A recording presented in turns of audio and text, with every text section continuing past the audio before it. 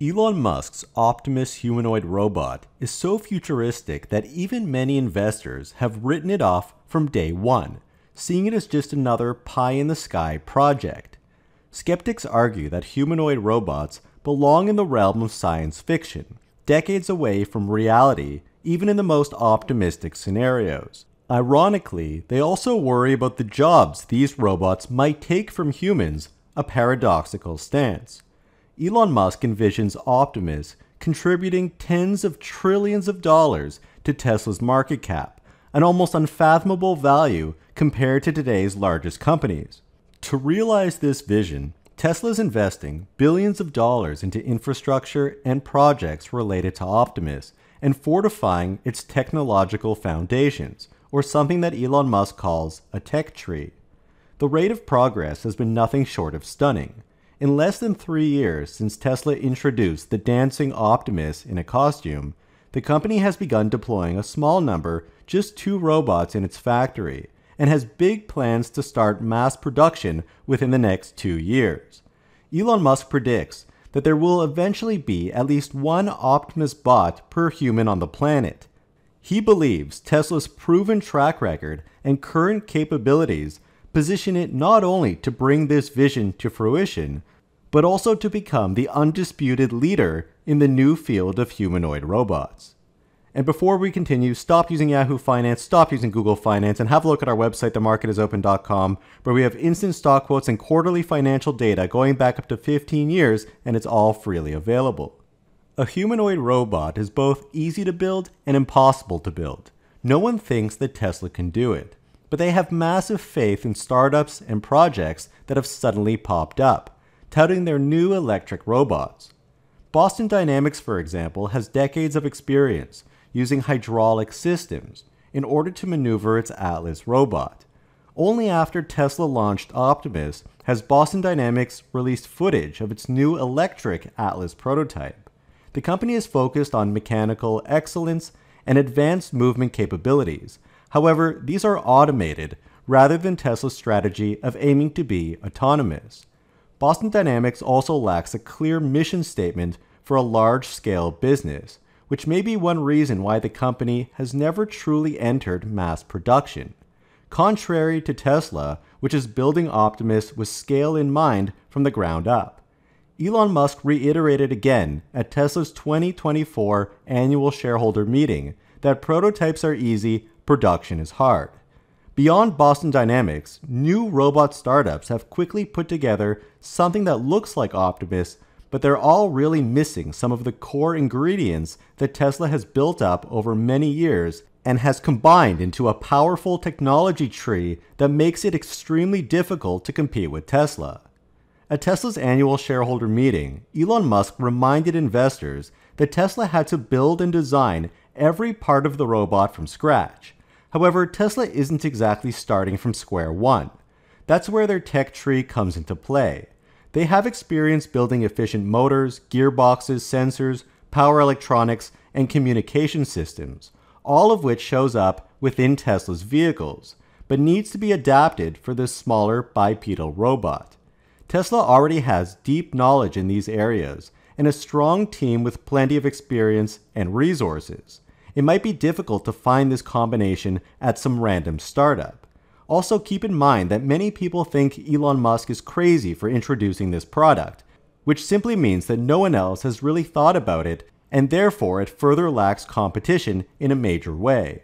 Now, that said, there are some Chinese players that adapt very quickly and do have manufacturing expertise. Elon Musk even says that in order for Tesla to capture the value from Optimus, they need to be first and they need to move very quickly, which is one reason why he's putting billions into this project, has a huge team, and is taking it very seriously. There's no supply chain at all for humanoid robot parts, and so Tesla is working to build that out as an addition to their tech tree, which will enable them to scale, which is key. You can have a great robot, but if you can't get it out to many consumers, then you won't gain share and won't capture the economic value. Now, the hardware is only half the story.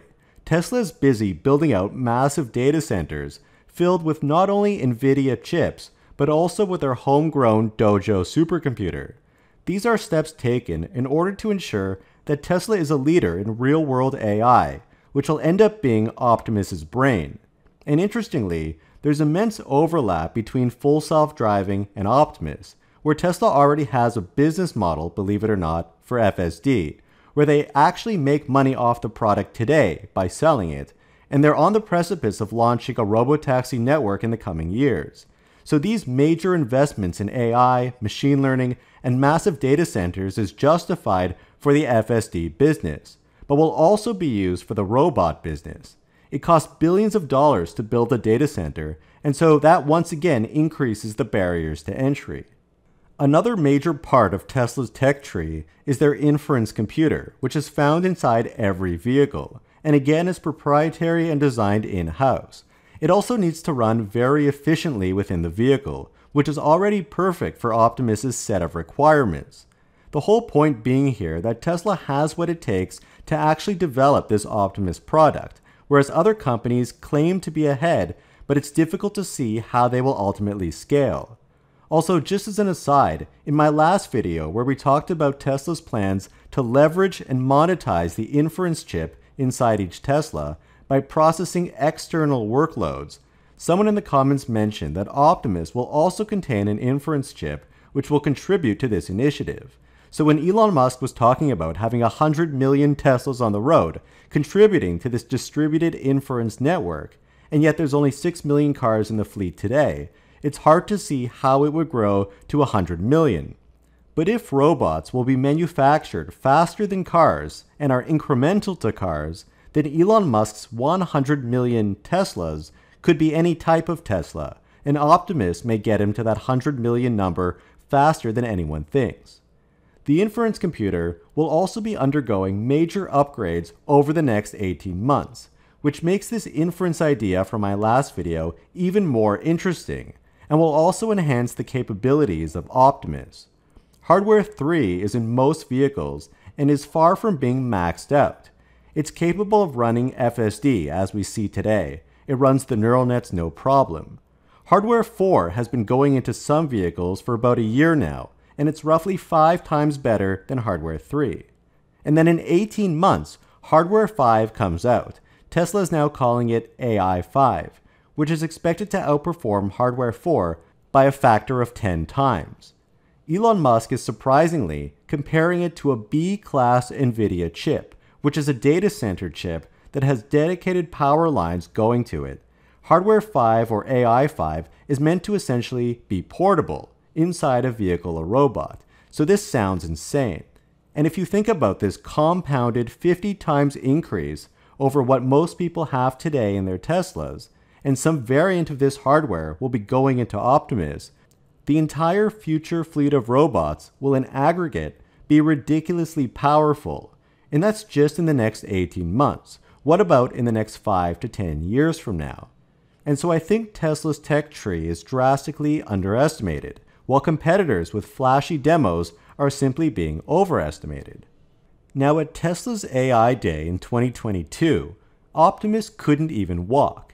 Now it can walk, a little like Joe Biden, but I think for the first time they've shown it working in the factory autonomously, doing a basic useful task, loading up batteries into a tray. And in one of the impressive scenarios, it makes a mistake and then corrects itself.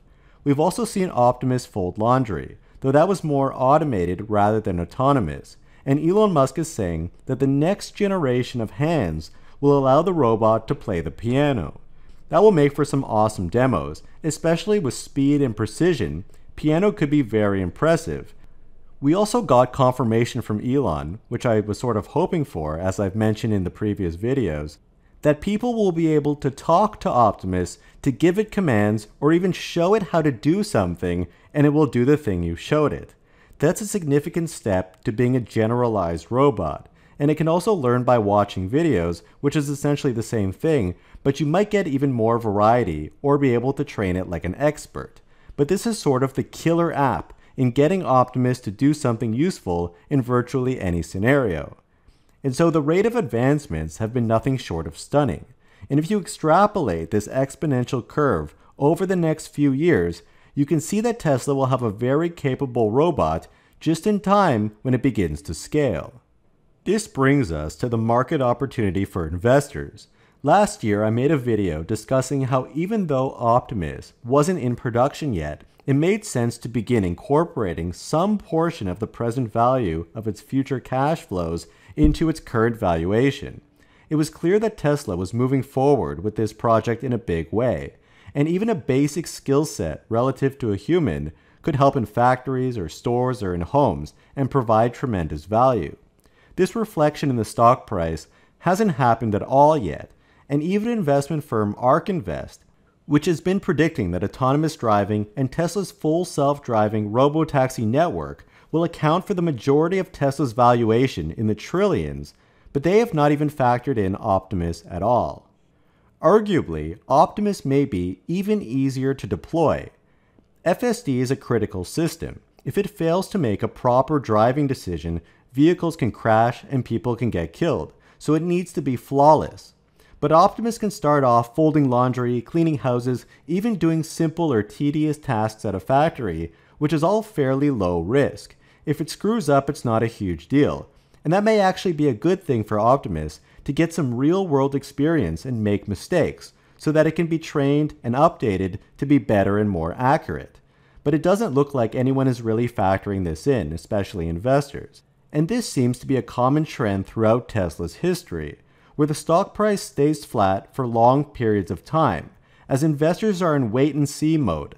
But then at a certain point, Tesla hits some milestone that convinces investors that, hey, we might have something here. And then the stock explodes higher in a short period of time to sort of catch up to its intrinsic valuation, which typically dumbfounds people on the sidelines. Elon Musk has told us what to expect even though many people make the mistake of not believing him, although it's typically a question of when rather than if. Interestingly, from an investment standpoint, it doesn't really matter if Tesla is so called late if there's no one else really competing with them. Next year, Elon Musk plans to deploy a thousand or a few thousand Optimus robots within Tesla's factory. This will be like a scene from Westworld in order for Tesla to eat its own dog food and make Optimus actually useful for factory tasks. For reference, if Boston Dynamics is one of the leaders in robotics, given their 30 plus year history, they've sold just over a thousand Spot robot dogs, which were announced in 2016 and made available for sale to consumers in 2020 for $75,000 US apiece. Spot is not autonomous, but rather can be automated to do certain tasks. People don't think that Tesla can surpass Boston Dynamics, but if Tesla plans to deploy a thousand autonomous robots next year, and then the year after begin scaling potentially a $20,000 robot, which Elon Musk claims to be able to build for $10,000, that's much less cost prohibitive with huge margins and is much more functional for end consumers compared to an automated robot dog. Elon Musk is thinking big here predicting that the global market for humanoid robots will translate to one or more robots per human, so roughly 10 billion or 20 billion robots, with a global build rate of 1 billion units per year.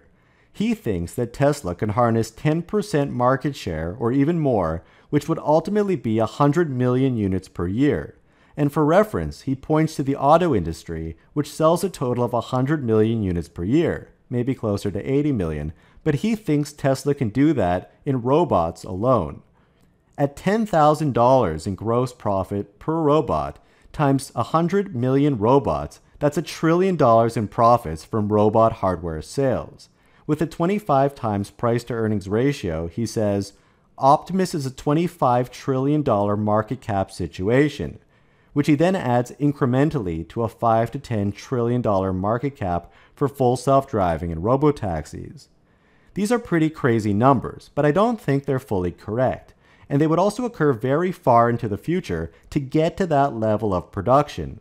In my last Optimus video, we discussed that if instead Optimus is sold for its economic value related to the tasks provided, then it can be far more valuable and therefore profitable. For instance, paying per hour for Optimus yielded a $10 trillion valuation just from the sale of 1.5 million robots an aggressive but much more reasonable number. And Elon Musk does seem to be on board with this business model, just recently stating that Optimus will be both rented out and sold for hardware, but with the ability to rent it coming first. However, in either case, we seem to be leaving out services revenue or some sort of app store, which I think will add even more high margin revenue.